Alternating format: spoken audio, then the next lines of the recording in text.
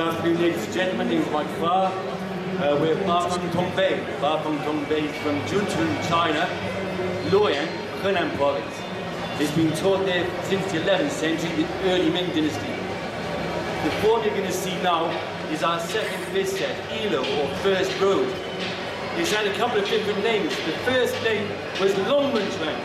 Longmen being a small place with lots of caves and Buddhas carved in about a mile away from Jun Tun village, where my master lives. The fist set was first called Longmen Quan, or Longmen Fist.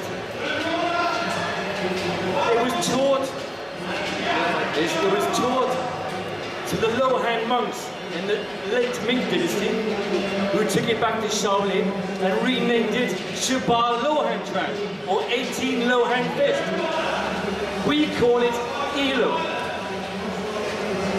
since he was taught the Shaolin beforehand. Ladies and gentlemen, two students will demonstrate in various positions the fist set twice, and then they will perform some practical applications of the set. Thank you. My name,